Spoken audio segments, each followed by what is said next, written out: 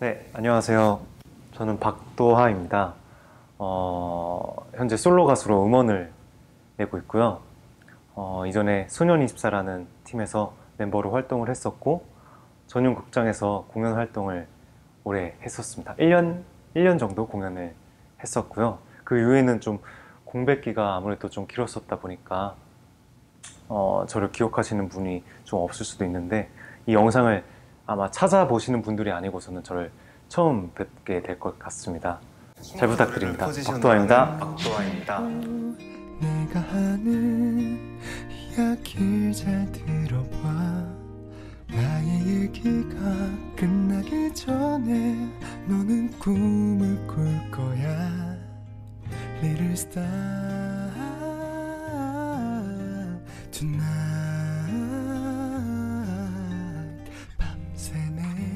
지켜줄 거야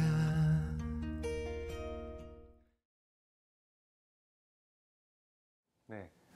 어, 요즘 식으로 좀 표현을 하자면은 INFJ, 인프제입니다. 저는 일단 좀 내향적인 사람이고요.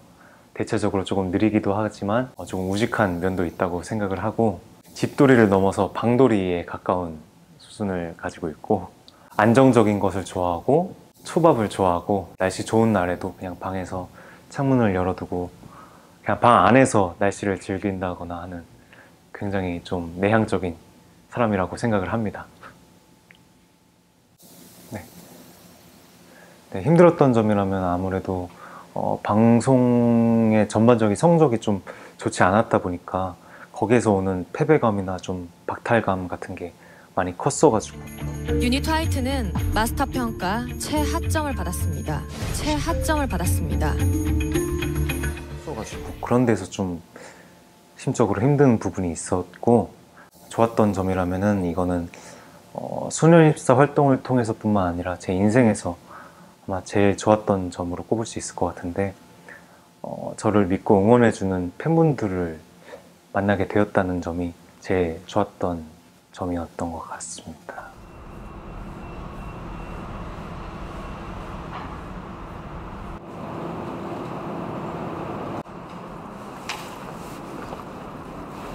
안녕하세요, 도아 씨. 안녕하세요. 어, 일찍 오셨네요. 이거 뭐죠?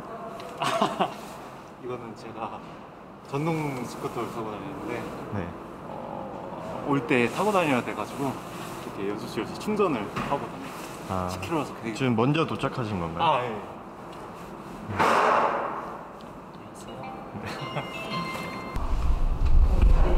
뭐 하고 계세요? 지금 몸풀기를 위한 음악을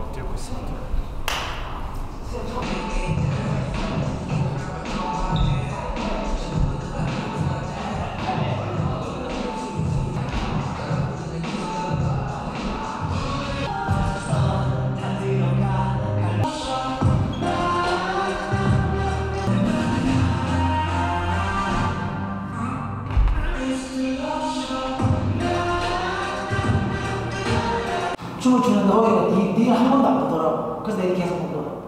니 시선이 왜? 그렇게. 그, 그런 게 아쉬운 거야. 내가 예를 들어서 금요일날 안무를 배우고 토요일 열심히 월요일날 방송하는데 나 틀리지 않을 거 아니야. 나 이게 일이니까. 그러니까 너희들이 해야 되는 거잖아. 그치? 그럼 나한테 보여줘야 되잖아. 우리 했습니다. 이걸 보여줘야 되지. 이만큼 했다고. 보여주려면 그 정도 노력을 했어야 되지 않나. 이거 사실 내가 생각했을 때 지난 수업에는 거의 비슷해. 연습을 1도 안 했다고 그냥. 무슨 말 네. 너네가 이거 하려는 의지를 이걸 데이트해서 너네가 와 이렇게 해서 하지.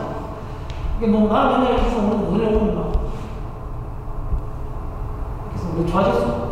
네. 오케이? 네. 네. 두 번은 더 하고 네. 네. 오케이? 예. 한 번은 번은 빡세게 한 번, 한 번, 한 번. 더. 예.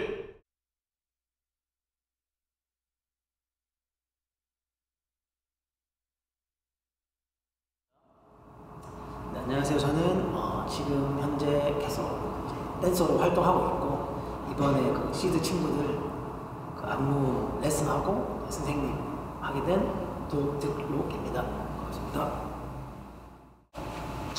음, 이게 뭔가 수업할 때도 사실 조금 잘 따라오는 친구도 있고 조금 부족한 친구도 있는데 어, 이 친구들이 이렇게 서로 서로 좀 도와가고 해가지고 하는 거 보면은 그리고 또 제가 이제 수업 끝나고 숙제를 내려오면 그걸 또 곧잘 다 맞춰보더라고요. 그런 걸로 봤을 때 지금까지는 합은 굉장히 잘 맞아가고 있는 것 같습니다. 어, 도화 같은 경우는 자기가 되게 열심히 하는데 뭔가 아직까지 자기가 가진 끼를 확 못 부르는 것 같아가지고 그런 걸좀더 확실하게 좀 할 수 있으면 좋을 것 같고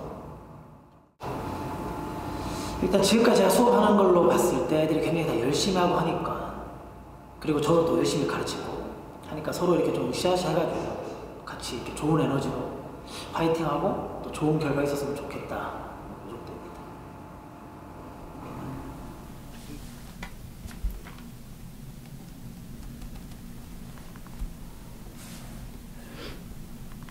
이것도 한번 해볼게요. 론씨 스르 뭐죠? 스르 하다. 네, 3그룹이죠. 네. 정확한 일본어 표현으로 해봐. 무시 시나이 데 이, 이형용사에다가 구이대 구이대 스시 먹고 싶어. 같이 준비하고 있는 친구들은 일단 저보다 어, 정말 얼굴만 봐도 웃음이 터져 나올 정도로 어, 남자애들끼리 뭉쳐 있는데 이렇게 사이가 좋을 수 있을까 싶을 정도로 어, 몇 개월 안 됐지만 빨리 가까워진 친구들이고 정말 착하고 제 말도 잘 따라주는 어, 귀여운 친구들입니다. 그래서 각각의 매력이 되게 뚜렷한 친구들이라서 앞으로의 케미가 저 또한 되게 기대가 되는 그런 친구들입니다. 네, 어떻게 보면은 되게 많이 불리한 조건일 수도 있겠지만 진흙 속에서도 결국 꽃을 피워낸다는 제 이름 뜻처럼 어, 늦게 출발한다고 해서 반드시 실패를 한다는 건 아니라는 걸 제가 좀 증명하고 보여드리고 싶거든요. 어, 저를 이미 알고 계신 분들에게는 어, 조금 피로감으로 다가올 수도 있지만 어, 저는 정말 처음 서보는 무대인 것처럼 언제나처럼 또 열심히 준비해서 여러분들 앞에 나설 테니까 여러분들 앞에 나타났을 때 너른 마음으로 반겨주시고 어, 많은 사랑 부탁드립니다. 박도하였습니다.